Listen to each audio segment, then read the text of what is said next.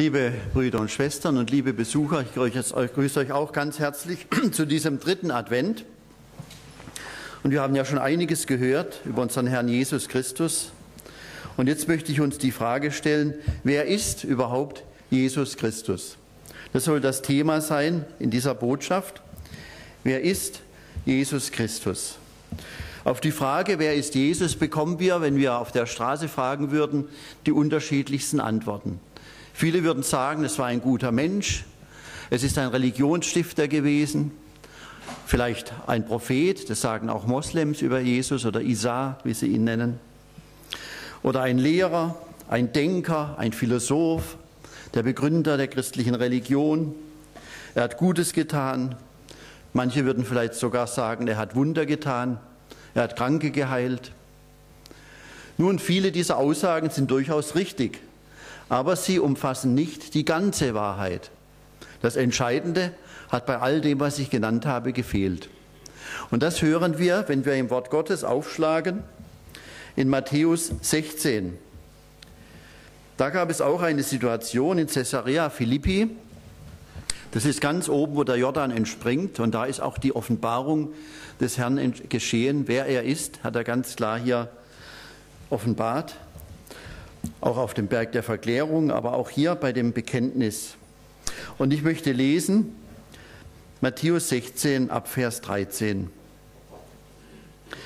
Da kam Jesus in die Gegend von Caesarea Philippi und fragte seine Jünger, was sagen die Leute, wer ich, der Menschensohn, sei?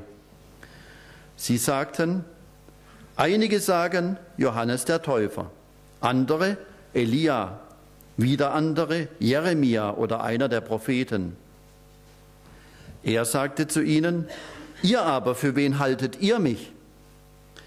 Da antwortete Simon Petrus, du bist Christus, der Sohn des lebendigen Gottes.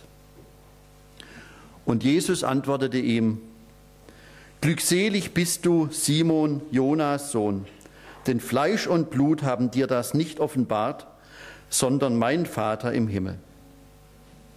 Ich möchte nochmal mit uns beten, wir können dazu aufstehen.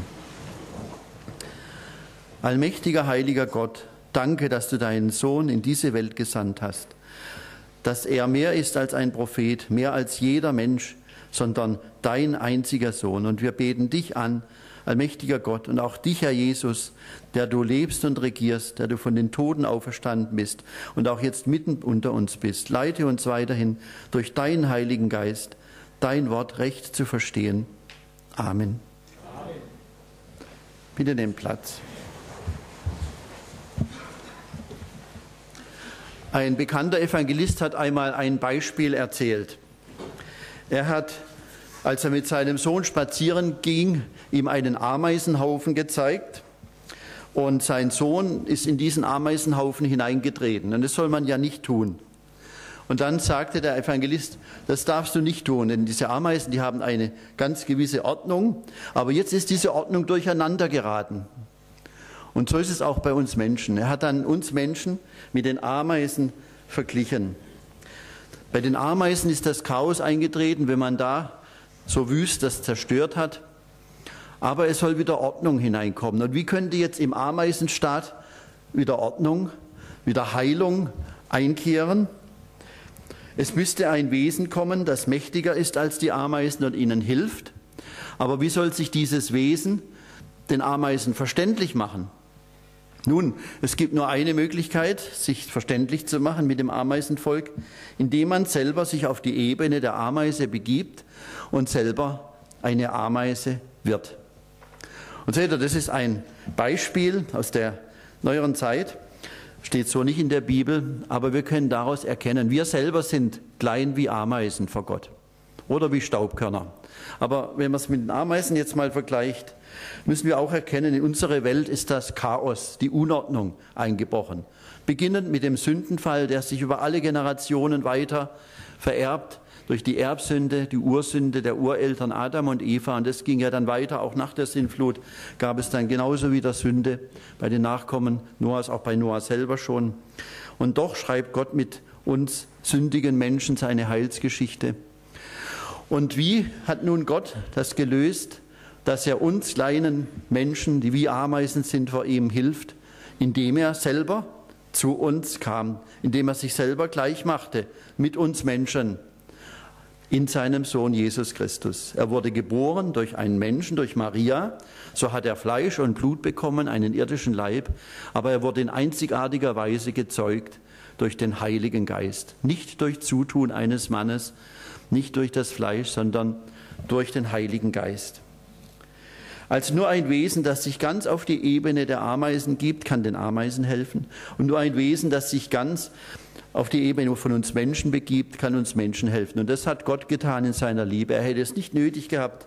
Aber gerade in der Advents- und Christfestzeit werden wir daran erinnert, dass Gott Mensch wurde. Gott wurde wie wir. Und im Johannesevangelium steht ganz klar, das Wort, das ewige Schöpferwort Gottes in seinem Sohn, wurde Fleisch.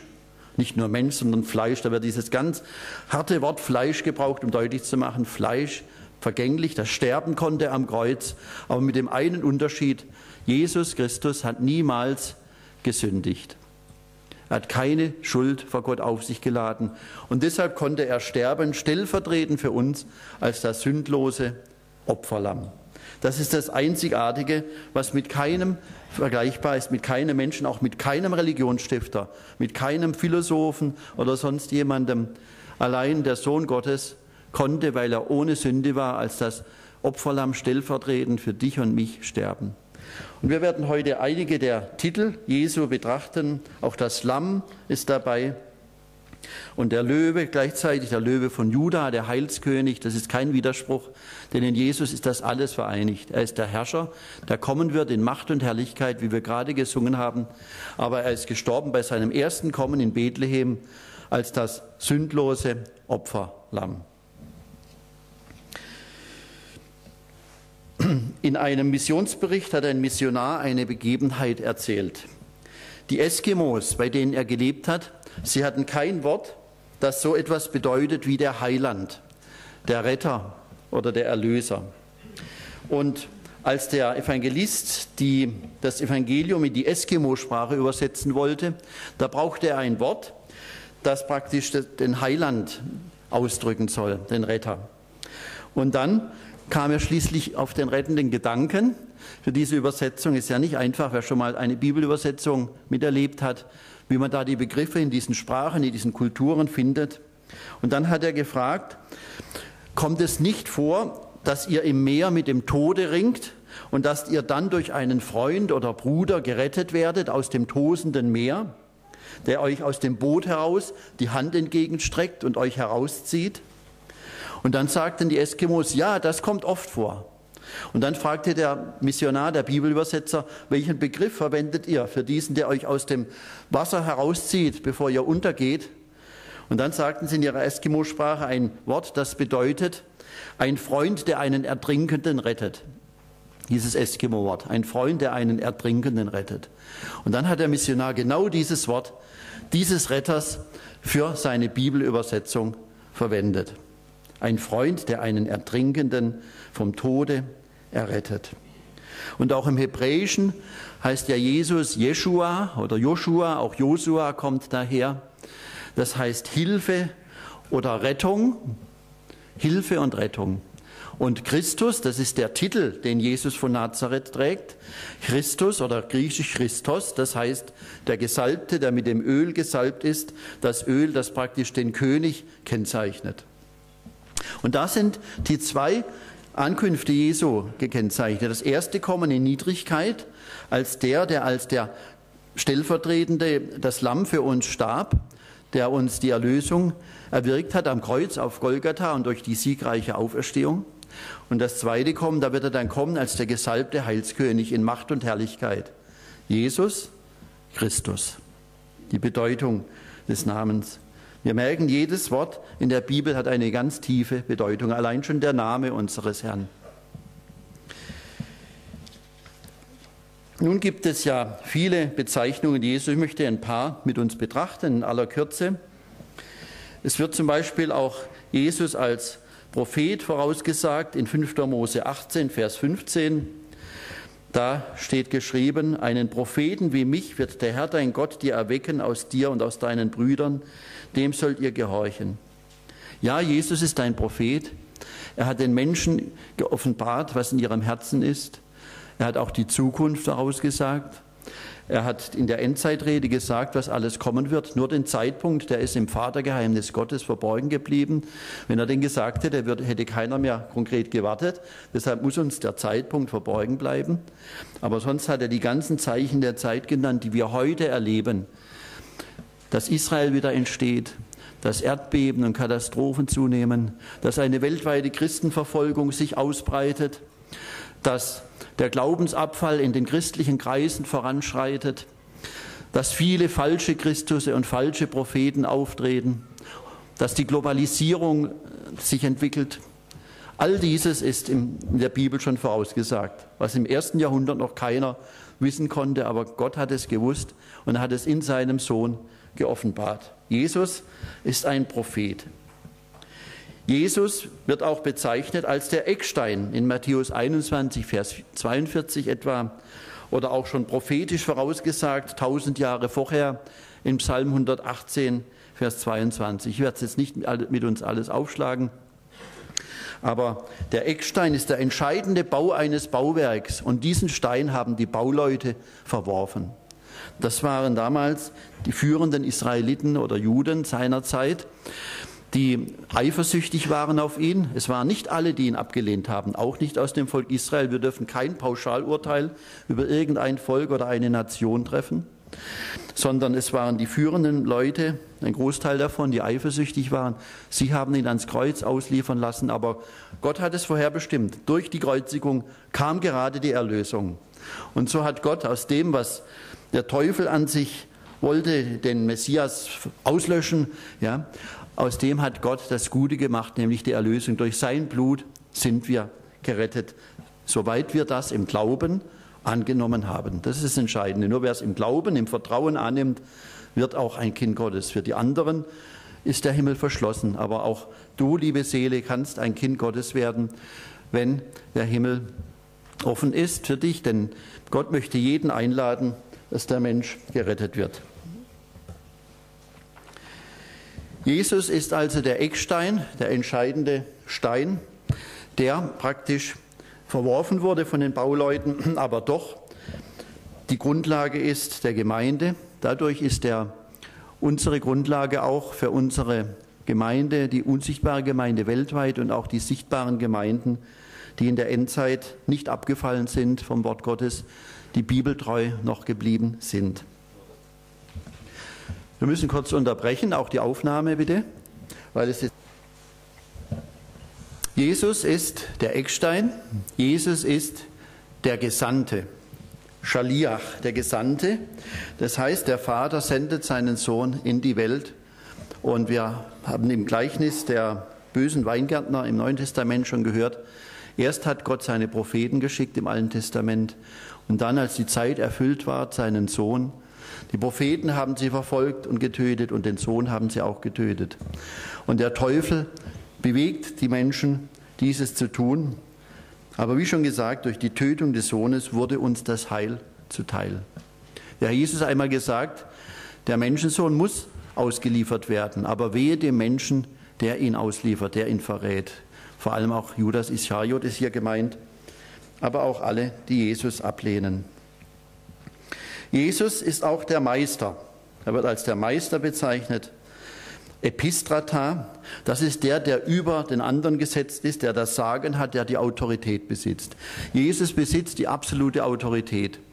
Am Ende des Matthäusevangeliums sagt der Herr Jesus selber, dass ihm alle Macht im Himmel und auf Erden gegeben ist. Und in Philipper 2 steht, dass alle Knie sich beugen sollen, derer, der im Himmel, auf Erden und auch derer, die unter der Erde sind. Die einen werden ihre Knie freiwillig beugen, die ihn angenommen haben, und die anderen werden ihre Knie beugen müssen. Das ist keine Allversöhnung, sondern die einen werden es müssen, aber sie sind dadurch nicht gerettet. Sie werden dann zähneknirschend erkennen müssen, er ist doch der Erlöser gewesen. Und wie töricht war ich, mich vom Teufel betrügen zu lassen und ihn nicht rechtzeitig zu Lebzeiten angenommen zu haben. Wirst du deine Knie freiwillig vor dem Herrn beugen oder unfreiwillig? Jetzt ist noch die Zeit der Entscheidung, der Gnade, wo jeder Mensch die Wahl hat und die Entscheidung treffen kann. Jesus ist der Morgenstern. Mit diesem Titel wird er bezeichnet und bezeichnet sich auch selber in Offenbarung 2, 28 und Offenbarung 22, 16. Der Morgenstern ist der hellste Stern, der den Tagesanbruch ankündigt. Wenn der Morgenstern kommt, dann, so die Symbolik, kommt auch das Reich Gottes. Und mit dem Kommen Jesu in Bethlehem ist das Reich Gottes schon angebrochen, inwendig in uns und auch in den Gemeinden in der Welt, da wo das Wort noch bibeltreu verkündigt wird. Aber es ist noch nicht sichtbar weltweit aufgerichtet. Das wird das mit dem zweiten Kommen des Herrn geschehen. Zunächst im tausendjährigen Reich auf dieser Erde und dann in alle Ewigkeit im himmlischen Jerusalem, wenn neuer Himmel und neue Erde erschaffen sind, gemäß Offenbarung 20 bis 22. Jesus wird auch bezeichnet als der Davidssohn, der Sohn Davids. So mehrfach auch im Neuen Testament. Das heißt, er ist der König, denn David, das war der König Israels nach Saul, der, der, erste wirkliche König Saul war leider, hat versagt, aber David ist der König, trotz all seiner Fehler und Sünden, der doch ein Mann Gottes war. Und zwar deshalb, weil er ein bußfertiges Herz hatte. Er hat Reue empfunden über seine Sünden, er hat sie vor Gott bekannt und gebracht, etwa als Nathan kam und ihm den Ehebruch und den Mord aufzeigte. Das hat ihn unterschieden von anderen Menschen, die eben nicht diese demütige und um Vergebung flehende Haltung haben. Manche fragen sich ja, warum ist David ein Mann Gottes, der doch auch so viel ähm, Unrecht getan hat, aber weil er ein demütiges und bußfertiges Herz hatte. Das ist das Entscheidende. Andere Könige, andere Menschen haben das oft nicht gehabt. Jesus ist der wahre Weinstock. In Johannes 15 spricht er, ich bin der Weinstock, ihr seid die Reben. Ohne mich könnt ihr nichts tun. Nur wenn wir am Herrn Jesus angepfropft sind, auch als die Heidennationen heute. Ursprünglich steht der Weinstock auch als Bild für Israel des alten Bundes. Aber wir sind gemäß Römer 9 bis 11 als die aus den Nationen geretteten eingepfropft in diesen Weinstock Israel. Dann sind wir am Blutkreislauf des Lammes angeschlossen. Dann haben wir die Kraft vom Herrn. Dann können wir in der Abhängigkeit von ihm leben und dienen. Aber ohne ihn können wir nichts tun. Wir können zwar schon viel tun ohne Jesus, aber es ist nur, ich sage mal, eine Schaumschlägerei. Es kommt nichts dabei heraus. Bevor ich gläubig war, da habe ich auch alle möglichen Aktivitäten getan für Umweltschutz und Gesundheit und ihr wisst es ja, die mich kennen. Aber das war alles in die falsche Richtung. Für das ewige Leben hatte ich nichts getan. Ich hatte auch nichts getan, dass Menschen gerettet werden für die Ewigkeit. Nur, dass sie äußerlich gesund bleiben, Fitness und ja, der Mensch, der halt Gott nicht kennt, der denkt nur an das Irdische, möchte, möchte möglichst alt werden. Heute gibt es ja schon Versuche einer transhumanistischen äh, Technik, wo sie versuchen, wenn der irdische Leib zerfällt, dass sie irgendwie die Gehirnwellen auf Computer speichern, dass der Mensch ewig leben soll als Computerwesen. Ich weiß nicht, ob ihr schon davon gehört habt. Man will also die Teile des Gehirns irgendwie konservieren, dann in Computer einbauen. Wenn die Knochen zerfallen, ja, bleibt wenigstens noch das Gehirn oder seine Wellen übrig. Also das ist der Mensch, der nicht bereit ist, zu Gott zu gehen, der nicht bereit ist für die Ewigkeit. Er versucht dieses irdische, armselige Leben endlos zu verlängern. Wie traurig, ja, wenn Menschen so auf das Irdische begrenzt sind. Nein, Jesus ist der wahre Weinstock und nur in ihm haben wir die Verheißung dessen, dass wir sinnvoll hier leben, sinnvoll handeln und auch in die himmlische Herrlichkeit eingehen. Jesus ist das Wort. In Johannes 1 und 1. Johannes 1 wird praktisch der Schöpfungsbericht aufgegriffen. Da heißt es ja im Schöpfungsbericht in Genesis 1, im Anfang schuf Gott Himmel und Erde. Und da heißt, und Gott sprach. Und dieses Sprechen, das ist das Wort Gottes. Und das Wort Gottes ist gleichzeitig die Person, der ewige Christus, der in Jesus von Nazareth Fleisch wurde. Also, wenn man fragt, wo Jesus zum ersten Mal vorkommt, Schon im allerersten Vers der Bibel. Denn es heißt, im Anfang schuf Gott Himmel und Erde. Und für Gott steht Elohim. Und Elohim im Hebräischen ist ein Plural, also Mehrzahl. Und da ist die Dreieinigkeit Gottes schon enthalten. Vater, Sohn, Heiliger Geist. Schon im allerersten Vers. Ja, ist das nicht wunderbar? Und ja, dieser eine ewige Gott hat durch seinen Sohn alles geschaffen. Und der Geist Gottes brütete über den Wassern. Das steht dann auch schon in den ersten Versen der Bibel. Wir haben hier schon den Vater, den Sohn und den Heiligen Geist. Schon in 1. Mose 1. Und dann in Johannes 1, Gott schuf durch das Wort. Und das Wort wurde Fleisch. In Kolosser 1, Vers 16 lesen wir, denn durch ihn ist alles geschaffen, was im Himmel und auf Erden ist. Das Sichtbare und das Unsichtbare. Es seien Throne oder Herrschaften oder Fürstentümer oder Obrigkeiten. Es ist alles durch ihn und zu ihm hin geschaffen.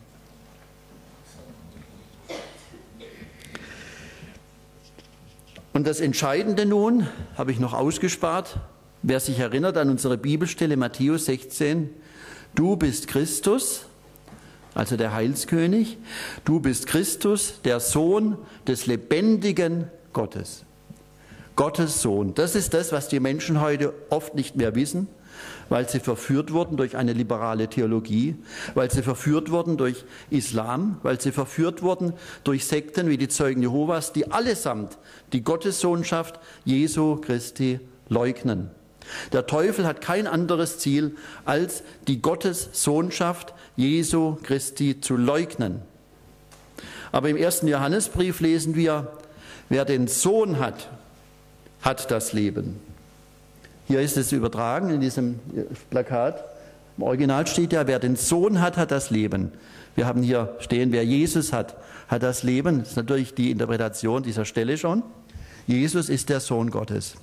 Wer den Sohn hat, hat das Leben. Und dann steht auch klipp und klar, im ersten Johannesbrief mehrfach, wer den Sohn Gottes nicht hat, hat das Leben nicht. So einfach ist das. Und das kennt ja jedem liberalen Theologen, jedem Moslem und jedem Zeugen Jehovas entgegenhalten. Wenn du den Sohn Gottes nicht hast, wenn Jesus für dich nur ein Prophet ist oder der Erzengel Michael, wie bei den Zeugen Jehovas, nur ein Engel und ähnliches, dann hast du nicht das ewige, erfüllte Leben dann musst du immer noch dich selber versuchen zu erlösen, was niemals gelingen kann. Auch nicht durch die fünf Säulen des Islam, auch nicht durch das Stehen an den Ecken jeden Tag, wie es die Zeugen Jehovas machen. Es ist zwar bewundernswert, wie sie sich einsetzen, aber die müssen das tun, um sich selber zu erlösen. Während wir, wenn wir auf der Straße stehen, es tun aus Liebe zum Herrn und zu den Menschen und nicht, weil wir uns selber noch erlösen müssten. Wir sind ja schon erlöst durch das Blut des Lammes Jesus Christus. In Matthäus 14, 33 lesen wir, die aber im Schiff waren, kamen und fielen vor ihm nieder und sprachen, du bist wahrlich Gottes Sohn. Sie haben erkannt, als er Jesus den Sturm gestillt hatte, das kann nur Gott. Und viele andere Wunder, vor allem auch die Auferweckung der Toten. Nur Gott kann Menschen vom Tode auferwecken. Und das kann Gott eben auch als Sohn. Und selbst der heidnische Hauptmann muss nach der Kreuzigung Jesu der das ja als Ungläubiger miterlebt hat, muss er am Schluss als gläubig gewordener sagen oder darf sagen und bekennen, wahrlich dieser ist Gottes Sohn gewesen. Das ist nur ein Fehler in diesem Satz des Hauptmanns gewesen. Ja, er sieht es immer noch mit der Brille, dass da einer gestorben ist. Aber wir wissen ja, er ist drei Tage später auferstanden und wurde dadurch als Gottes Sohn bestätigt in Macht und Herrlichkeit, in Power and Glory. Ich sage es auch ein paar englische Worte für unsere Freunde aus dem Iran, wo unsere Brüder gerade verzweifelt versuchen, das zu übersetzen in dem Tempo, wie ich das jetzt gesagt habe. Vielen Dank euch, Brüder. Ja, nun möchte ich noch einen letzten äh, Punkt nennen. Das Lamm und der Löwe, habe ich schon erwähnt. Jesus ist das Opferlamm, das fehlerlos ist, für uns geschlachtet wurde und gleichzeitig der Sieger, der Löwe von Juda, der König. Aber, und damit möchte ich schließen, da habe ich auch zwei Beispiele. Ich hoffe, ihr könnt dann auch noch schlafen. Manchmal ist es aber auch gut, wenn man eine schlaflose Nacht hat äh, und auch aufgerüttelt ist in seinem Sündenschlaf. Jesus ist auch der Stein des Anstoßes. Und zwar für alle die, die über ihn stolpern, die ihn nicht annehmen, die auf dem Wege sind, verloren zu gehen. In Matthäus 11, Vers 6 oder 13, 57 und anderen Stellen wird Jesus als ein Skandalon oder ein Stein des Anstoßes bezeichnet.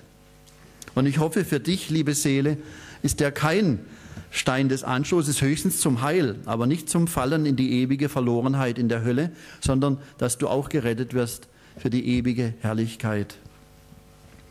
Der Stein des Anstoßes. Da möchte ich abschließend zwei Beispiele uns erzählen.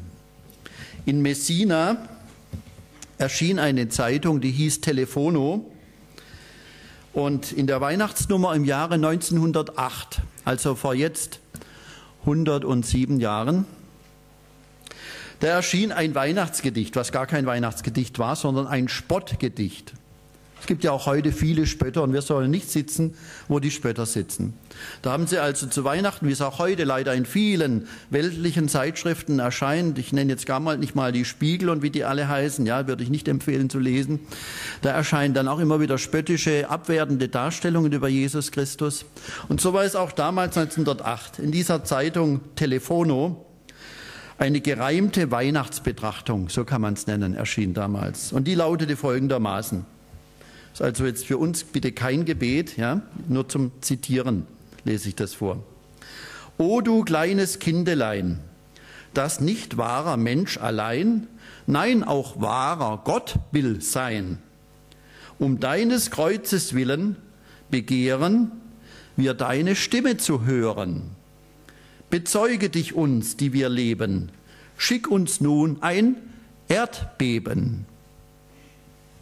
Habt ihr das alle verstanden?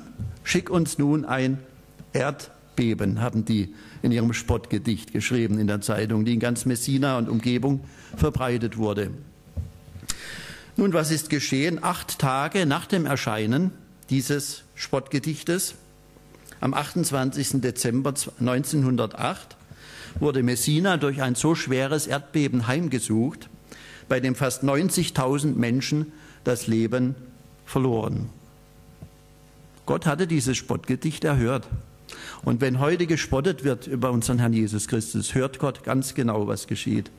Und wird die nicht ungestraft lassen, die das tun, früher oder später, spätestens beim jüngsten Gericht. Auch die Familie des Verfassers dieses Spottgedichtes kam ums Leben. Er selber überlebte und wurde wahnsinnig.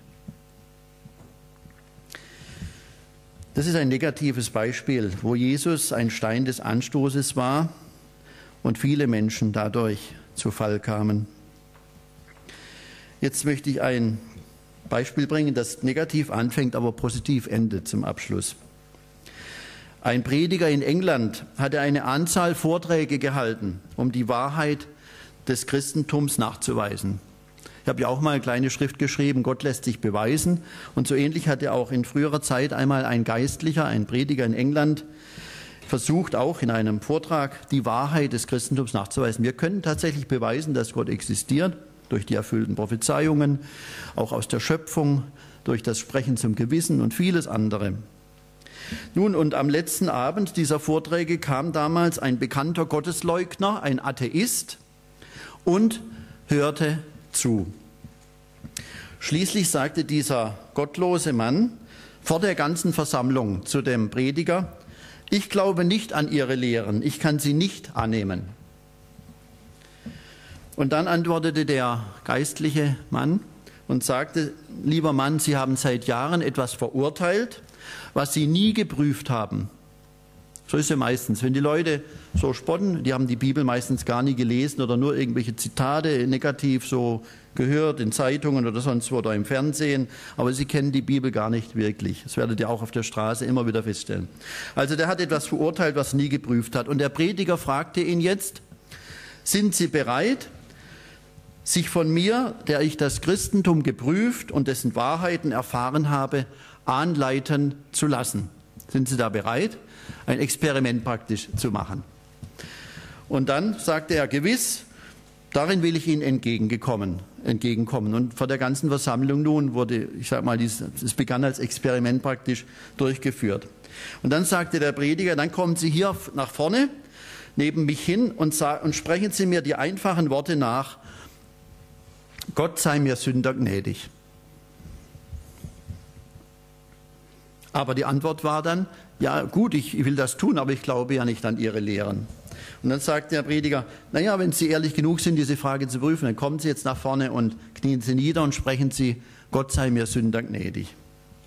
Und die Versammlung saß in großer Stille da, als dieser bekannte Gottesleugner nach vorne kam, auf die Knie ging und sprach, Gott sei mir Sünder gnädig. Er sagte es mit fast spöttischem Ton und dann stand er wieder auf. Und dann sagt der Prediger, jetzt geht das Experiment weiter, jetzt knien Sie nochmal hin und sprechen Sie nochmal aus. Gott sei mir Sünder gnädig. Jetzt tat er es nochmal in einem schon etwas gedrückteren Ton. Offenbar kam er ins Nachdenken. Und dann beim dritten Mal, wo er es widersprechen sollte, dann tat er es in einem schon demütigen Ton. Und beim vierten Mal, als er wieder niederknien sollte und das sprechen, da tat er schon freiwillig und sagte in einem flehentlichen Ton, Gott sei mir Sünder gnädig. Amen. Ich lade euch ein zu einer Gebetsgemeinschaft und wer